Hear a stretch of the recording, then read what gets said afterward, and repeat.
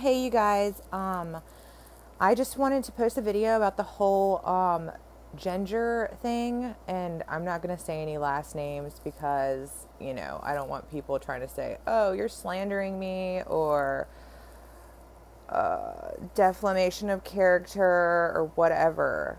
Uh, this is not a defamation video. This is not a slander video. This is just information that I discovered on my own with my own personal research, and that's all I have to say um, about that, about my own personal research. But um, I did look this person up, and I found out as much information as I possibly can. She actually doesn't have any connections to anybody that is related to this case at all, um, which I don't either. This is all just 100% reporting the truth and how I see it and how many other people should see it if they would just look it up themselves. Um, so the lady that was trying to fork out a universal routing number, one of her main reasons behind wanting to push this universal routing number is simply because the name of the bank is called America First. And I did the weird eye movements just to be a little sarcastic. Okay, and I don't know if you can put the connection with America First and the election that just happened with Donald Trump, which she is a very huge Trump supporter. She follows him, she supports him. Um, some of her family members that I've seen are big Trump supporters, which is fine. Anybody can support whoever they want. It's fine. I personally do not support Donald Trump because I'm not going to support any presidential entity because most of them are not really truly voted in. That's just a scam to make you think that you have some type of control when you really have no control. For example, I'll give you an example. Donald Trump went bankrupt. The Rockefellers bailed him out when he went bankrupt. He was an employee for the Rockefellers the television channel NBC, where Donald Trump's um, show, The Apprentice, was shown on. NBC is owned by the Rockefellers. Okay, now let's go to MSNBC. MSNBC, which is mainly uh, a news media site or channel that um, shows a lot of progressive, liberal, democratic things. You know, they like to talk a lot of SHIT about Donald Trump. Well, the TV show Morning Joe, which comes on MSNBC, the blonde headed lady, the one that has like the really short blonde hair, her father is actually like one of the head guys in the whole Council of Foreign Affairs, which is actually the, the Foreign Affairs Council was developed by the Rockefellers. Her father is a conservative, extreme conservative, who is also affiliated with Donald Trump most of the guests that you see that go on MSNBC, which is a Rockefeller owned company, news company, Rockefeller owned company with the uh, Council of Foreign Affairs. The girl that uh, works on Morning Joe, which is the MSNBC show, progressive news mostly, Democratic news mostly. Her father is the leader behind a Rockefeller company and is also a conservative who is behind Donald Trump. Donald Trump was employed by a progressive, Democratic based news channel. Come on, you guys. Open up those minds and realize that it's all complete BS. Donald Trump is not like. He's affiliated with the fucking bankers, man. He's affiliated with all of them. Trust me. There's only three countries left that don't have a central banking system North Korea, Cuba, and Iran.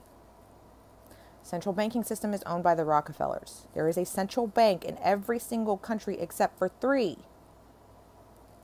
Okay? We're coincidentally about to go to war with one out of the three. Just look at this stuff with an open mind, okay? Donald Trump lives next door to the Rockefellers in New York City, okay? Donald Trump's favorite newspaper, one of his favorite, which he grew up reading, is the New York Times. Go and Google who controls the New York Times and his connections with the Council of Foreign Affairs, the, his connection with the Rockefellers. Go and look at these Democratic news stations that post mostly Democratic stuff and go look at their connection with the conservative Rockefeller family. It's all to divide the country. Dividing the country is what they want.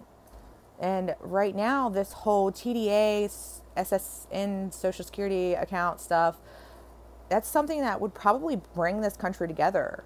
You know, if it is 100% correct, it would bring a lot of people together, no matter where they come from, who they are. It would bring people together. So I'm just, that's just something I wanted to put out there. But all this information I'm telling you, you can Google it. You don't believe me? Just Google. Um, but back to the whole universal routing number thing okay, if you go back and, and you look historically at the people that have ever been arrested and thrown in jail for 17 to 18 years or life in prison or they've died in prison that uh, has been doing stuff like this where they use checking accounts or they made checks with routing numbers to Fed banks or uh, Fedwire banks or whatever, um, those people all went to prison for years because they were using random routing numbers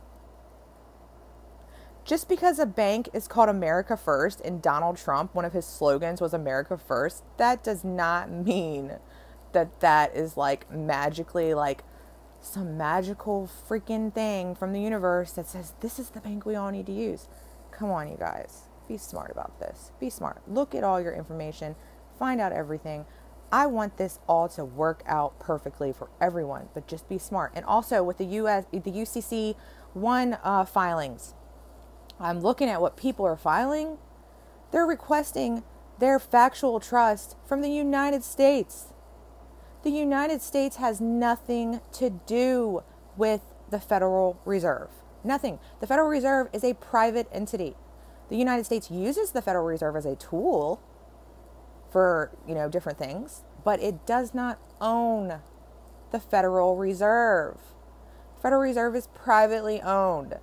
So I don't think it's very logical to ask the United States for your factualized trust because the United States is not going to be able to give it to you. If the United States gives you your factualized, uh, you know, if United States gets your UCC filing and it says, hey, I want my factualized trust from the Federal Reserve.